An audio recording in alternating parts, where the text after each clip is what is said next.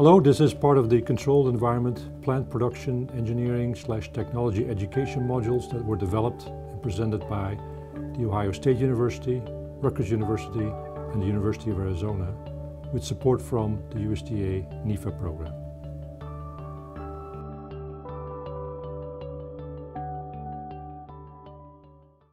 This module discusses evaporative cooling and shading and is presented by AJ Both from Rutgers University and Murat Kacira and Gene Giacomelli from the University of Arizona.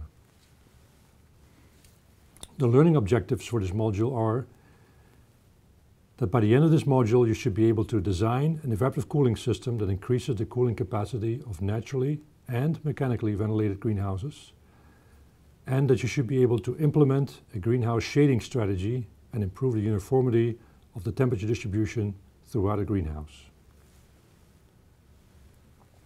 Additional resources include the Greenhouse Engineering book by Aldrich and Bartok, Greenhouse Technology and Management by Nicolas Castilla, and Integrated Greenhouse Systems for Mild Climates by Christian von, Zabeltitz. There are several ways that we can use evaporative cooling in greenhouse applications. The first one is the pad and fan system, followed by misting and fogging. The result is that by evaporative cooling, we drop the outdoor temperature as it comes into the greenhouse. That is, if the outdoor temperature or the incoming temperature is not, the indoor, incoming air is not already saturated. Because if it's already saturated, we can no longer evaporate more moisture into it. And of course, by doing this, by doing this process of evaporation, we increase the overall humidity inside the greenhouse. So this could be an issue depending on what strategy you want to use to grow your crops. So here's an example of an evaporative cooling pad. It's typically located along an entire sidewall of a greenhouse on the sidewall where we have the ventilation inlet window. You can't see it in this picture, but behind the pad is the inlet window. So the air comes in through the window and then has to travel through this evaporative cooling pad before it enters into the greenhouse environment. The pad is designed so that we add water to the top of it. So there's a pipe running the length of the evaporative cooling pad with little holes in it that uh, provide water to the pad material. The pad is made of an impregnated cardboard material that is uh, that allows for continued wetting and drying cycles without it breaking down very rapidly. And it's corrugated and then glued at angles uh, so that water can completely uh, flow through it, but it still allows openings for air to travel through. So there's good contact between the surface, the water surface, the wet surface, and the air coming through. And as a result, there's a lot of opportunity for evaporation to take place as the air comes into the greenhouse. So that evaporation process requires energy. It requires energy to uh, change water from a liquid to a vapor phase. And that energy is extracted from the incoming air. So as a result, we cool the air as it goes through this process, but at the same time we humidify the air. Then at the bottom of the evaporative cooling pad, the excess water is collected typically in a trough and is then returned back to a tank or a sump so it can be reused uh, for the next uh, cycle or for a continuous cycle if you have it running continuously. So here's a, a close-up of what that pump and the return system look like. So on the in the left-hand side, you see a part of the uh, heating system, that uh, pipe with rust on it. Next to it is the, the uh, pipe that runs from the pump to the top of the evaporative cooling pad where water is delivered. And then you see the trough underneath the pad where the excess water is collected and then returned through a pipe that you can just see a little white piece of going, in this case, to the outside of the greenhouse. On the outside of the greenhouse, it looks like this. You see a tank or a sump with on the left hand side a copper pipe running into it, which is the supply line towards the pump. So this is how the pump gets water out of the tank and runs it up to the top of the evaporative cooling pad. you see the white uh, PVC pipe, that is the return line from the trough underneath the pads. And on the right hand side of the sump, you see makeup water.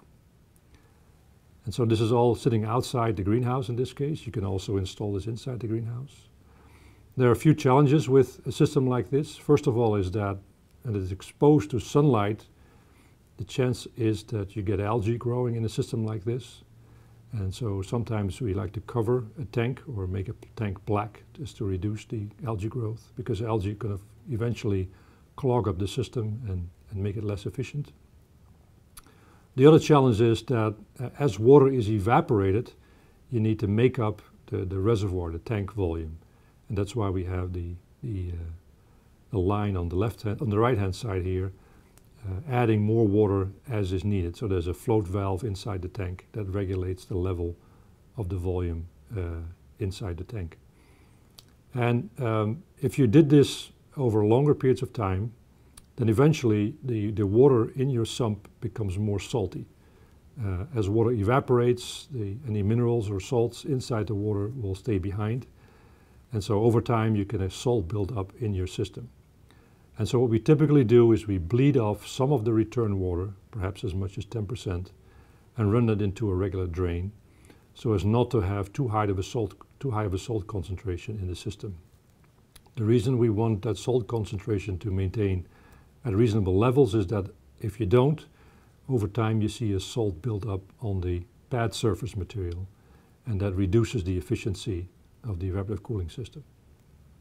The pad material lasts fairly long, about uh, three or four years at least. And then uh, when you see it deteriorate, it's time to uh, replace it. So it's not uh, a one-time installation. You do have to replace them from time to time. Some information about how you design an evaporative cooling system. In this case, again, we're talking about the pad and fan system. There are different thicknesses of the pads that are used. The most typical thickness is 4 inches, but sometimes people use 6 inches. If you need to figure out what the total pad area is that's required for your greenhouse operation, you need to know what your total ventilation fan capacity is in cubic feet per minute or CFM. And once you know that, uh, you divide that by a number of 250 to get the square footage of pad area you, when you use the 4 inch pad thickness. If you use a 6 inch pad thickness, you do exactly the same, except you divide the total fan CFM capacity by a number of 400. The pumping capacity required, so the size of the pump, um, the amount of volume that the pump needs to pump uh, in the system also depends on whether you use a 4 inch or a 6 inch pad. Uh, for the 4 inch pad you need a half a gallon per minute per linear foot of pad and for the 6 inch pad you need a little bit more, 0.75 gallons per minute per linear foot of pad material. The sump capacity or the tank capacity again depends on the thickness of the pad material. You need 3 quarters of a gallon per square foot of pad area for the 4 inch pad thickness and you need 1 gallon per square foot of pad area for the 6 inch pad thickness. If you want to know what the maximum water consumption is to have some idea of, of uh, how much water you need to provide to an evaporative cooling system, then uh, as a rule of thumb, you can use a number of one gallon per minute per every 100 square feet of pad area. Now obviously this number will change depending on some extremer conditions. If you are in a desert environment where the air is very dry, where you have lots of opportunity for evaporative cooling, that number may be higher. But as a first approximation, you can use one gallon per minute per 100 square feet of pad area. I already mentioned the need for a bleed off to prevent salt buildup on the pad material. Um, you need makeup water for your sump or your tank reservoir uh, level uh, to make sure that uh, it doesn't run dry because of course water is evaporating in the system continuously when it's running. Uh, we talked about uh, algae growth that is possible in the system. So anytime light can penetrate into the, the water volume, you have an opportunity for algae to grow and, and cause a reduction in flow in your system. I showed you an, an, example of a system where the tank was installed outside and typically we don't use an evaporative cooling system during the winter months when it's cold enough and we don't need additional cooling in the greenhouse. And in that case, obviously, you need to make sure you drain all the various components properly so that you have no uh, frost damage uh, as the system sits there during the wintertime. We also recommend a filter system in the, in the, uh, somewhere in the, in the line of the recirculating system. Uh, although you use sometimes very clean water, uh, every once in a while you have particulate matter that ends up in the water stream. And uh, think about the pipe on top of the evaporative cooling pad with the little holes through which we squirt water. Um, those can be clogged, and once that happens, you get areas in the pad that don't get wet and obviously do not contribute to evaporative cooling. So uh, putting in a filter is an easy uh, insurance for not having any particulate matter that could clog those little holes. Thinking about that pipe, um, it is typical to install that pipe with the little holes facing up and not facing down. And again, this is done so that any particulate matter that ends up in the, in the pipe is not clogging the little holes. Of course, that means that you have to have a cap over that pipe with the holes through which the water is squirting upward so that you can redirect that water down into the, uh, in the pad material. But by just rotating the pipe and making sure those holes are facing upward, you can, you can prevent yourself a lot of trouble by having to unclog those little holes uh, when you have particulate matter ending up in your water supply. And then, uh, as with most systems, you need to look at these uh, in the operation of this system very regularly, do proper maintenance and replace the pads in time so that the system continues to work efficiently and, and uh, properly. Another evaporative cooling system is a misting system. Although misting systems are not typically used to uh, produce lots of cooling, although they can, um, but they're more used for providing a very humid environment for uh, rooting cuttings. Um, but nevertheless, you could use a misting system for, for evaporative cooling as well. So typically they have low pressures in the 40 to 60 psi range. Um, they have a relatively high volume of water that's coming through each of the nozzles, about four gallons per hour per nozzle. And we install approximately one nozzle for every 50 square feet of growing area. So there are relatively large droplet sizes coming out of these misting nozzles. And that means that there's an opportunity for, for wetting the leaf surfaces. And wet leaf surfaces can be good if you want to root cuttings, but in other cases where you try to keep plants disease-free, uh, that may not be such a good idea. So you have to understand the application and make sure that, that, you, that you don't mind having wet leaf surfaces when you use a misting system uh, in this application. They provide pretty good cooling uniformity, perhaps better than the evaporative cooling pad, because we can put those nozzles throughout the greenhouse environment, whereas in the pad and fan system, the pad is installed on one side of the greenhouse, and although the cooling efficiency is pretty good, as the air moves through the greenhouse from the ventilation opening towards the fans, it picks up uh, heat energy and thus heats up and you get some non-uniformity of that cooling distribution throughout the greenhouse. We typically deliver the water through an overhead piping system when we use a misting system, so you have to have a place to install that. And it requires obviously a pump, uh, filters to try to prevent any clogging, and you need some controls to operate the system. So here's an example of what a misting system looks like, a pretty foggy environment inside a greenhouse. Uh, mostly, as I said, used for uh, providing a, a, a, very moist environment for uh, rooting cuttings, uh, but it could also be used for uh, evaporative cooling purposes. The other system that we use, uh, which is specifically designed for evaporative cooling, is a fogging system. It works much the same as a misting system, except we use much higher pressures. We use less volume of water flowing through each nozzle, um, and therefore we create much finer droplet sizes. And the, the point of that is that those very, very small droplets evaporate very rapidly, and as a result we try to prevent uh, any wetting of leaf surfaces in order to try to prevent any uh, disease issues as a result of that. So we use high pressures, 500 plus psi, uh, perhaps as little as 1.2 gallons per hour per nozzle of, of water flow. And similar to the misting system, we put one nozzle for every 50 to perhaps 100 square foot of growing area. This provides really an excellent cooling uniformity. Again, we place those nozzles throughout the greenhouse environment, so it's more uniform than a pad and fan system. We also need an overhead plumbing system to provide water to the nozzles. And we require a high pressure pump. Uh, and now filters are very critical because the opening sizes are very small. So you need to have very clean water and you need controls obviously to operate such a fogging system. Here's an example of a fog nozzle generating this very fine mist, very small droplet size. It's perhaps a little confusing looking at this picture, but this is a top-down view.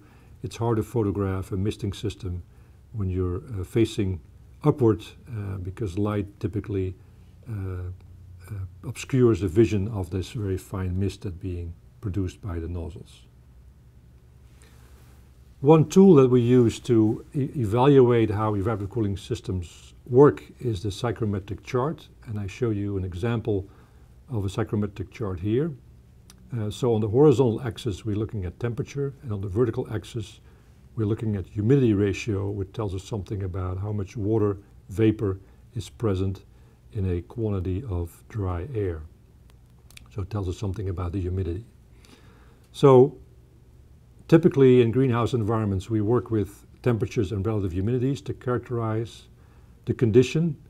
And the psychrometric charts allows us now to by knowing two conditions, for example, relative humidity and temperature, to quickly identify the other conditions that are important to understand what's happening with the air and what changes are occurring or can occur, for example, in an evaporative cooling system. So if we start out with a condition of 69 degrees Fahrenheit and 50% relative humidity, as you can see here, I indicated that by a little red circle somewhat in the middle of this, uh, this graph. Um, you can then uh, quickly identify what the humidity ratio is. You can also read off from this chart what the specific volume, which is the inverse of the density is. You can look at an energy uh, content or the enthalpy of the air. You can also uh, find quantities such as the wet bulb temperature and the dew point temperature. So the chart is really a tool that we use to, once we know two conditions of the air that we are dealing with, we can read off many other conditions uh, that are very useful for calculating and assessing what's happening and what can happen with the air present. So in this case, once we know the starting point and we know we're using an evaporative cooling system to reduce the temperature, all we need to do is to, to uh, follow the line of constant enthalpy to figure out what the wet bulb temperature is of the air that we started with. So air starting at 69 degrees Fahrenheit and 50% relative humidity has a wet bulb temperature of approximately 57 degrees Fahrenheit, just by looking at this graph. And so the wet bulb depression that we can uh, impose as a result of the evaporative cooling system is 12 degrees Fahrenheit by just simply subtracting 57 from the 69 we started with. But we know that no system is 100% efficient in cooling. For example, in the case of an evaporative cooling pad, we could have some nozzles that don't work properly, or we could have a region of the pad that is not quite wetted sufficiently for effective evaporative cooling. So it's a good rule of thumb to assume that the evaporative cooling system has an efficiency of 80%. And if we uh, multiply 0.8 by the, the wet bulb depression, we get to an effective cooling capacity of about 10 degrees Fahrenheit. So what that tells us that Given our starting point of 69 degrees Fahrenheit and 50% relative humidity, using an evaporative cooling system, we should be able to lower the temperature by about 10 degrees Fahrenheit. Shading systems are also important when you think about cooling greenhouses, and we have different strategies that we can use. Uh, a, a, very simple strategy is whitewash, where we put a paint or a, a paint-like material on top of the glazing. Um, and I'll show you an example of how we do that. Other systems allow for a little bit more control, such as movable curtains, and they can be installed both inside or, and outside the greenhouse. And some growers also uh, install exterior netting, uh, some of it movable, some of it more permanent, uh, all as a way to try to reduce the solar heat load coming into the greenhouse. So the benefits obviously is that we reduce the amount of solar energy coming into the greenhouse. Um, as a result, we reduce the plant leaf temperature, so we can reduce uh, heat stress conditions on the plants. Um, these shading systems can help control the amount of light that plants receive. And by doing that, we can typically control the rate of growth. And um, these shade systems often have the capability, because of their design characteristics, to also retain energy. And this is very important in the evenings and during colder months of the year. So they typically serve a dual purpose. They are both used for shading as well as for energy conservation.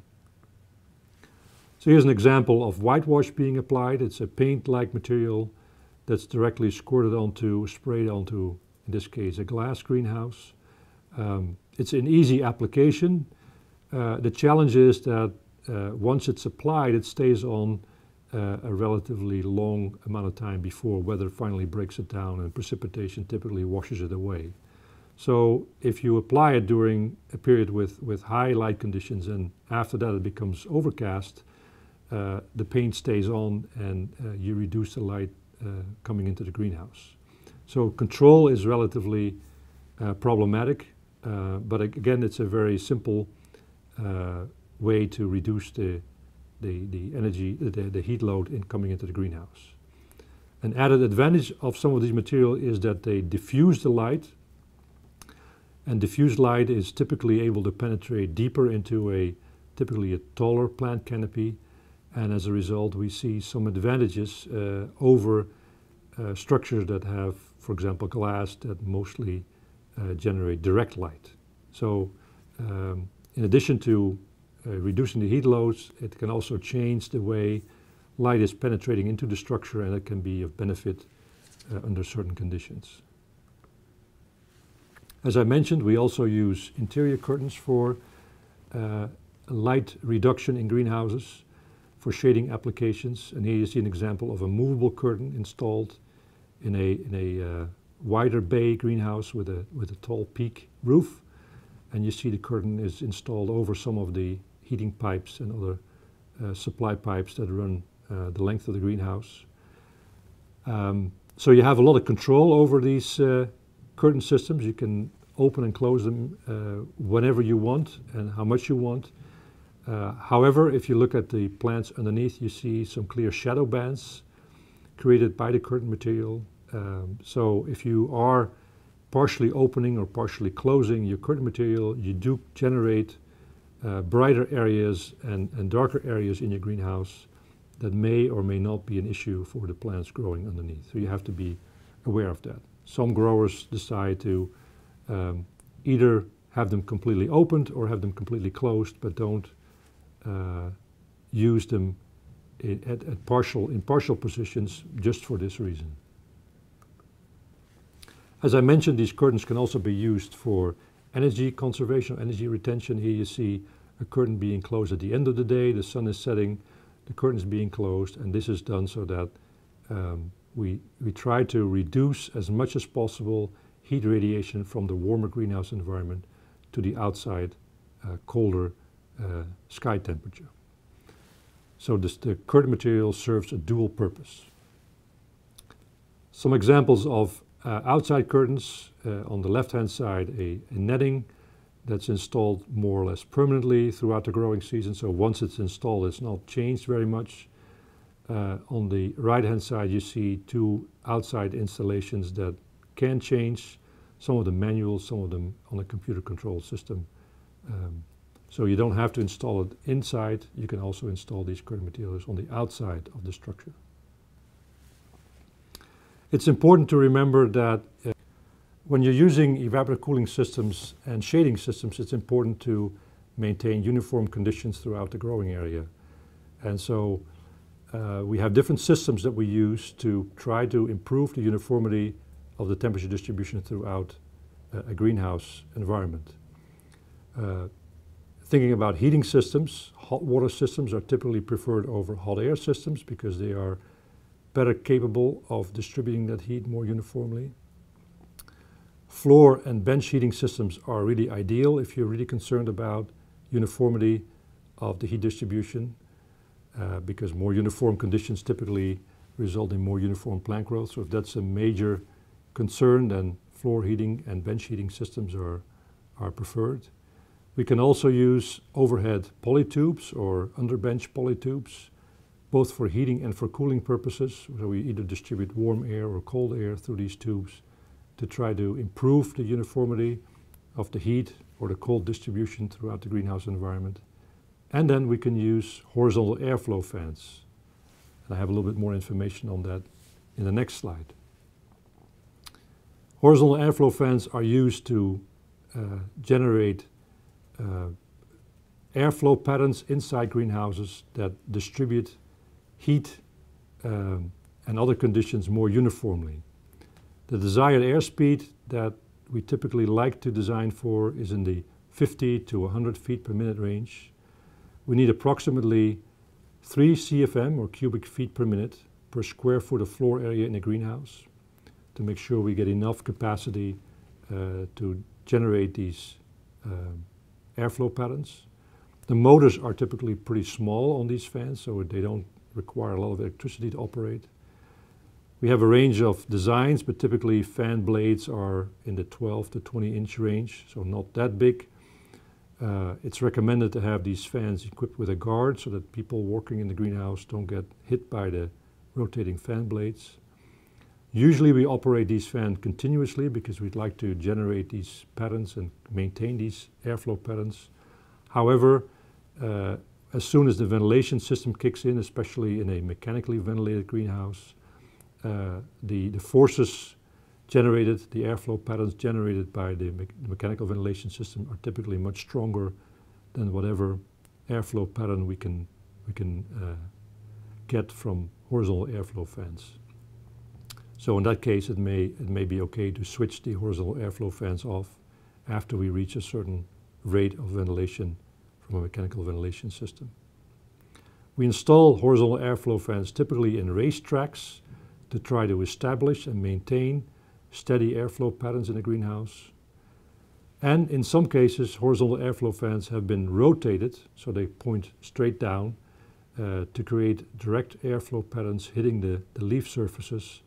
And for some crops, for example lettuce crops, that has shown to increase plant transpiration and as a result increase the uptake of nutrients um, to try to prevent, for example, uh, a tip burn issue in, in lettuce crops. So here's an example of what a horizontal airflow system looks like in a greenhouse. On the fans on the left-hand side are pointing towards us, so air is blowing towards us, and on the right-hand side, the fans are pointing away from us, blowing the air in the opposite direction. So by running these fans continuously, you can create a racetrack pattern that provides for good mixing of the air inside the greenhouse environment. We'd like to acknowledge the funding that was received for this effort by the USDA NIFA program.